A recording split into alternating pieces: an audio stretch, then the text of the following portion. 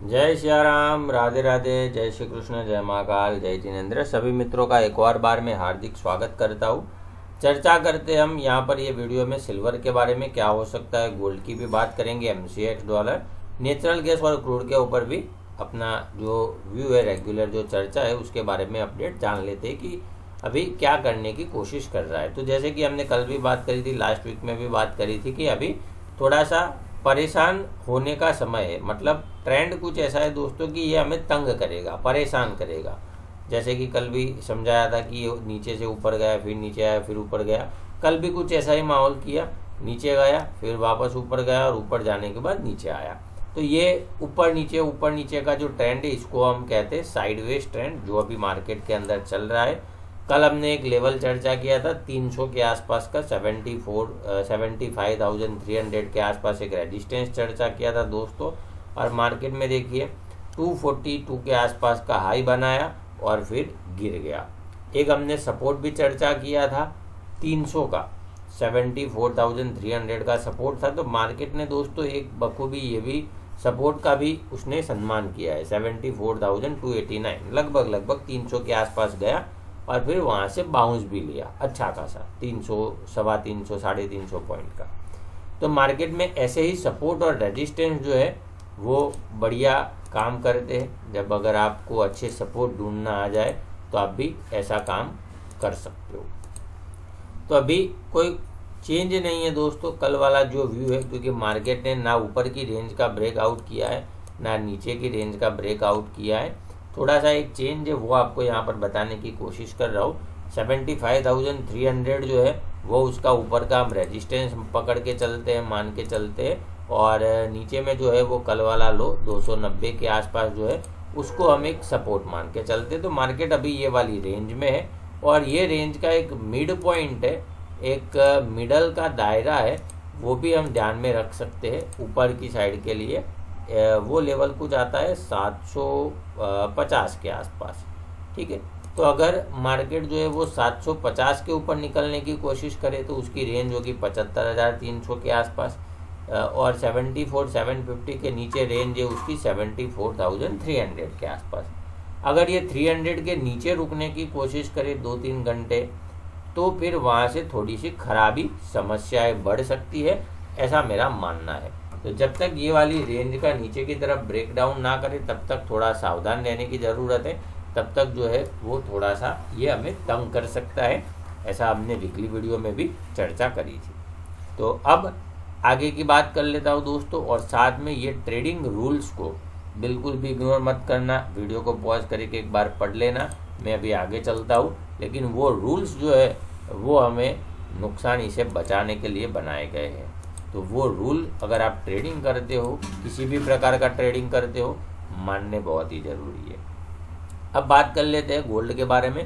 तो गोल्ड के अंदर जो है वो उसमें भी व्यू अभी तो हम सेम रखते। 450 के आसपास 425 का कल का एक हमारा रेजिस्टेंस था। तो मार्केट भी लगभग लगभग वही लेवल के आसपास आया 439 फिर करेक्शन कर दिया। तो स्ट्रॉन्ग रेजिस्टेंस दोस्तों कल इंट्राडे के हिसाब से भी देखे तो भी सवा चार सौ पॉइंट के आसपास का करेक्शन जो है वो मार्केट ने किया। तो ऐसा ही स्ट्रॉन्ग रेजिस्टेंस जो है वो अगर आप ढूंढना चाहो, समझना चाहो, सीखना चाहो, कल रात को ही लाइव किया था, उसके अंदर हम थोड़ा सा अलग चर्चा करने की कोशिश करते हफ़्ते में दो बार जो है वो चर्चा करते, क्या देखने को, सीखने को मिलता है, ये आप पॉइंट देख सकते हो मित्सु छः सात आठ का नियम बीबी का नियम, नब्बे परसेंट एक्यूरेसी ट्रेडिंग में हम जो है वो प्रयास करते हैं कि हम जो है वो कर पाए। सही समय पर एंट्री कब करें स्टॉप लॉस कैसे लगाए कितना लगाए एग्जिट कब करें ये पूरी चीज़ें जो है वो हमें तीन महीने तक जो है वो वहाँ पर हम चर्चा करते तो अगर आप जुड़ना चाहो तो नीचे डिस्क्रिप्शन में लिंक दिया गया है। आ, तो ये हो गया लाइव क्लास का बाद। अब 450 का सेम रेजिस्टेंस रहेगा। कल वाला जो था हमारा वही।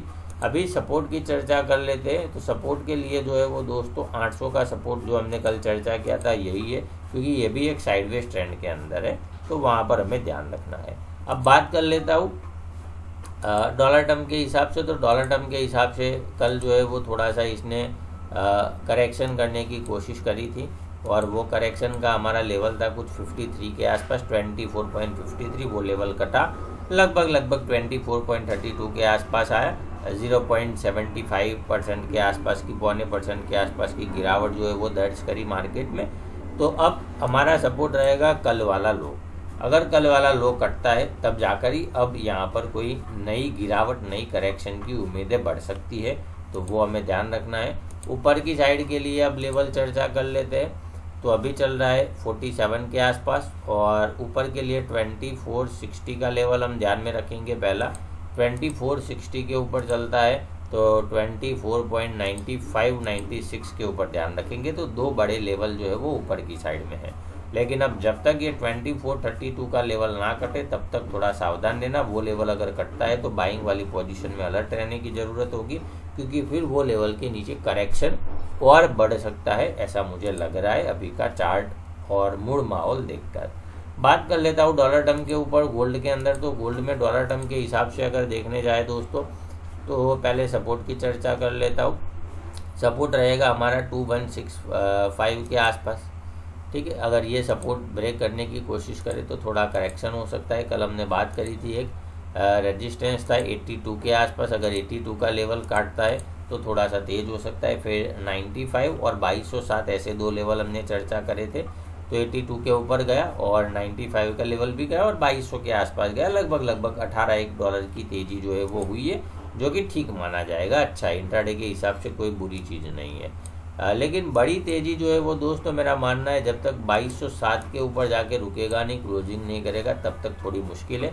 लेकिन इक्कीस के ऊपर जो है वो इक्कीस सौ इक्यानवे बाईस ये छोटे छोटे जो ट्रेंड है जो लेवल है वो आपको बताने की कोशिश करी। बड़ी करेक्शन जो है वो इक्कीस के नीचे रुकने के बाद आ, होने की उम्मीद है। ऐसा अभी मूड माहौल चार्ट देखकर मुझे लग रहा है। अब बात कर लेता हूँ मैं एनजी के बारे में। और फिर जो है वो क्रूड के बारे में भी चर्चा कर लेते। तो एनजी के अंदर भी कोई खुश खास ज़्यादा मूवमेंट नहीं कर रहा है। तो एनजी के अंदर भी कल का जो हमारा व्यू था वो सेम रख रहे हैं अभी। जब तक ये 164 के ऊपर जाके रुके नहीं, तब तक जो है वो कोई तेज़ी की मुझे उम्मीदें नहीं लग रही है अभी। तो 164 के ऊपर चलने देंगे हम। अगर 164 ऊपर काटता है तभी कोई अच्छी तेज़ी है। नीचे में कोई सपोर्ट की चर्चा नहीं कर रहे, क्योंकि नीचे में अभी थोड़ा टाइम पास कर रहे हैं। हमें खाली ऊपर का ओवर सोल्ड है। तो ऊपर का लेवल खाली हम ध्यान में रखेंगे 164 के हिसाब से। अब बात कर लेता हूँ क्रूड के बारे में। तो क्रूड जो है, वो अभी चल रहा है दोस्तों। कल जो है, वो ठीक ठाक साइडवेज एक मूवमेंट किया था। हमने एक सपोर्ट भी चर्चा किया था छः हज़ार सात सौ पचपन। अभी वही लेवल के आसपास चल रहा है। तो बहुत ही बढ़िया सपोर्ट है उसका। 6750 का ये लेवल अगर काटता है तो मेरा मानना है ये लेवल के नीचे थोड़ी करेक्शन बढ़ा सकता है। करेक्शन के अंदर स्पीड पकड़ेगा। अगर ये 6685 का लेवल जो है वो ब्रेक करे तब, ठीक है? 6685 ये वाला लेवल अगर ब्रेक करने की कोशिश करे तो थोड़ा और स्पीड पकड़ सकता है। ऊपर में तेज़ी के लिए दोस्तों अब हमें ध्यान में रखने की ज़रूरत है 6825 का लेवल। जब तक वो लेवल ऊपर की तरफ़ रुके नहीं, तब तक थोड़ी जो है वो परेशानी का सामना ये कर सकता है। तो ये बात हो गई क्रूड की। तो यहाँ पर दोस्तों ये वीडियो करता हूँ समाप्त। डिस्क्लेमर दे देता हूँ, जो भी चर्चा करिए वो एजुकेशन के लिए मार्केट को सीखने, समझने के लिए है।